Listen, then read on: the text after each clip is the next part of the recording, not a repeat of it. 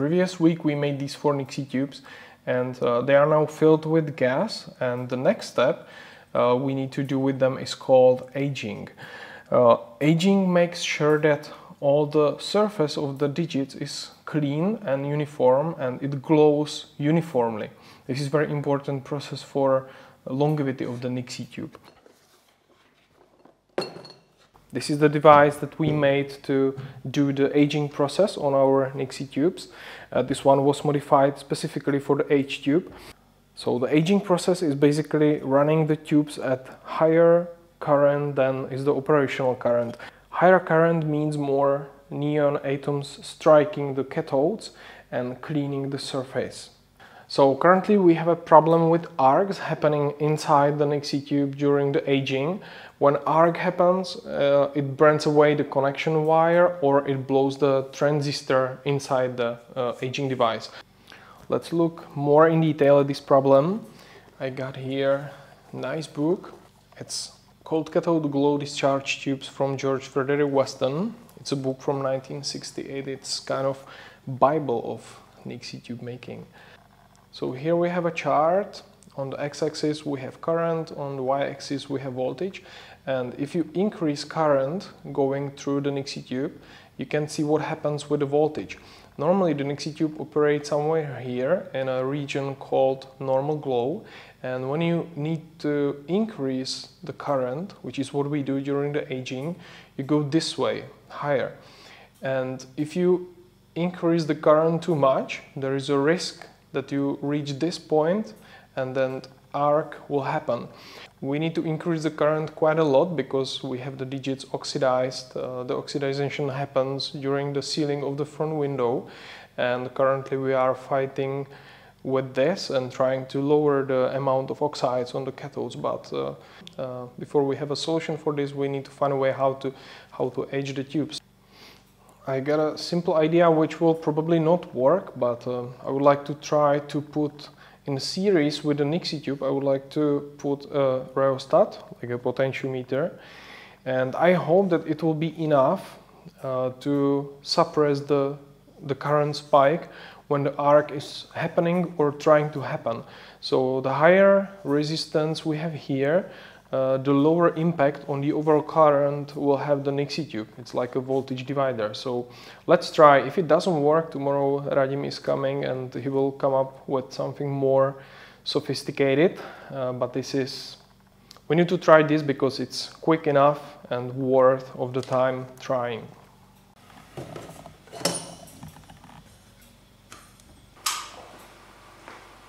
So this tube is number 21 serial number. So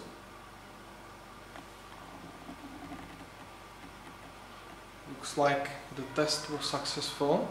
So we started the aging and at the beginning we have some measurements being done on the tube. Still measurements. You can see the incomplete digits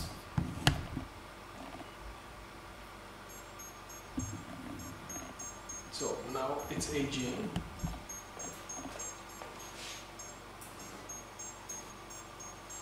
Number 8 is not working, this is the tube that has the connecting wire to the number 8 burn off because of the previous problem, the previous arc. This looks good, no arcs.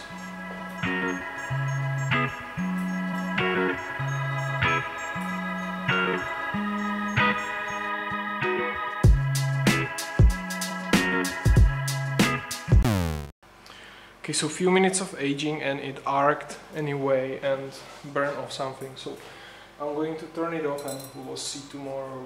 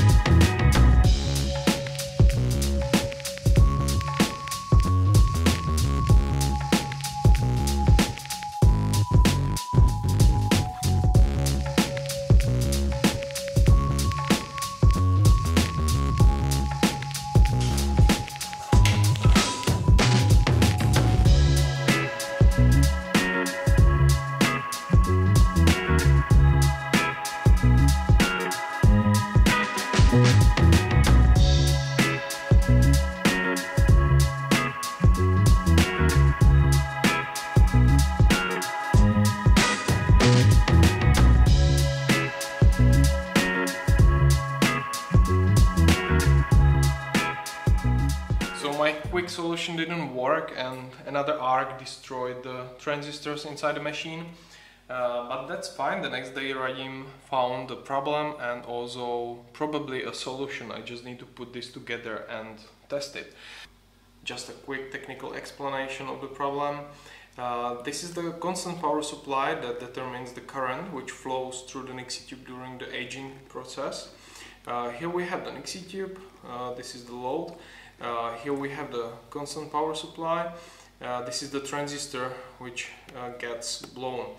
And the problem is that when the Nixie tubes go into, into the arc, the resistance on the Nixie tube drops, which is here, and so much higher current starts flowing here.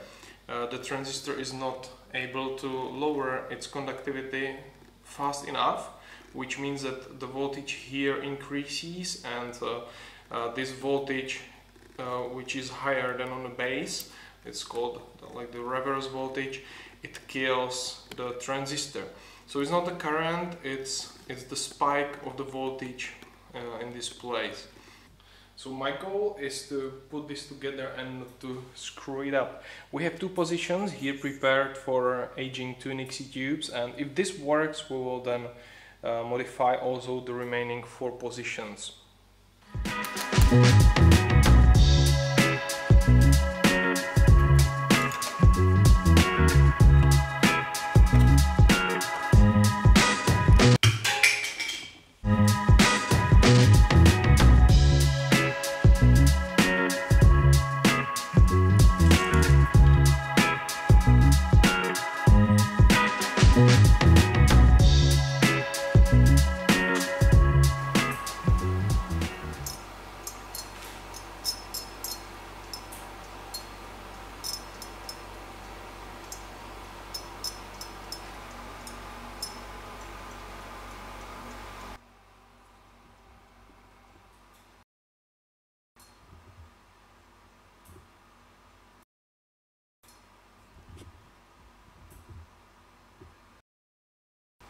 It looks like we are getting quite a lot of arcs, but they are not damaging the machine. So looks like the solution from Radim worked well. And also at the beginning of the aging, at the start of the aging process, there was more of the arcs and now we are getting fewer and fewer of them. The sound of the arcs is terrible. It's like cracking of the glass.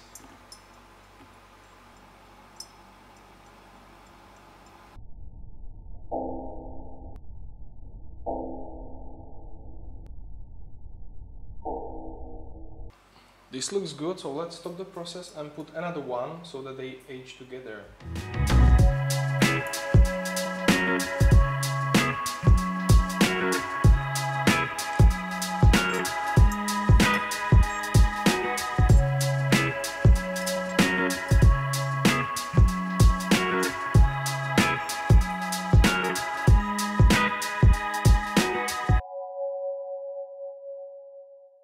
So after many hours the aging is quite stable, there are no arcs at all, but uh, because the digits were heavily oxidized on the surface, we can still see a lot of dark areas here.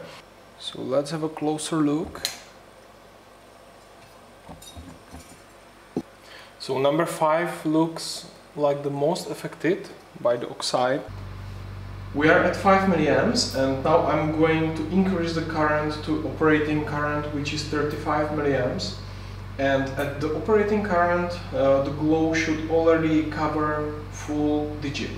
Uh, the problem here is that we still have a layer of oxide in this area and uh, it makes resistance to the glow so it will not cover the whole digit. So let's look at it I'm increasing the current, so the current spreads and tries to cover the whole digit and we are already at 35 milliamps and you can see that still this part and this part is not covered with glow. That's because of the oxide on the cathode. So what we need to do now is to put it back on aging and uh, do another cycle of the aging. Also notice here uh, the darker area is here is also noticeable during the aging. So we just need to wait now.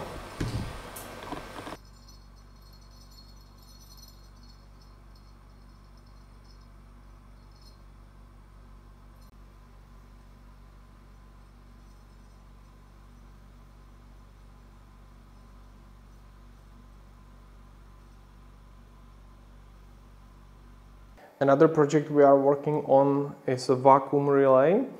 Uh, this is a custom project for a customer who doesn't need it as a functional element, but rather a visual part of his build.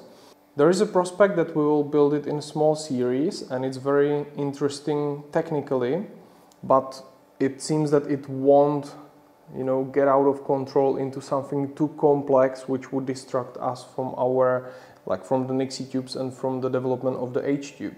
As for the technical challenges, there is a glass to metal seal to a thick tungsten rod. We normally use wire, so this is interesting to see how it will behave.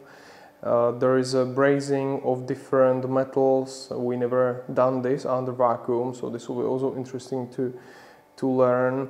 There is plating of iron with copper and we will need to learn how to do a visually consistent T-joints which is a different glass working technique which we don't do normally. So quite a lot of interesting ch challenges and I can't look forward to get our hands on them. One of the things that we are struggling with is the technique how to connect this steel rod into this tungsten rod. When we look closer to the detail, it looks like a brazing or some material added to this joint. Uh, from this side, the tungsten rod is clean, but when we look on the bottom, there is a layer of some other, other material, so it might have been some, some paste or some other material that was, that was melted to make the joint. So if there is anyone who knows what kind of material or what kind of technique is this, please let me know. I would like to experiment with this and show it in the future videos. střed auta, no. tak musí být oba dva břehy. Já jsem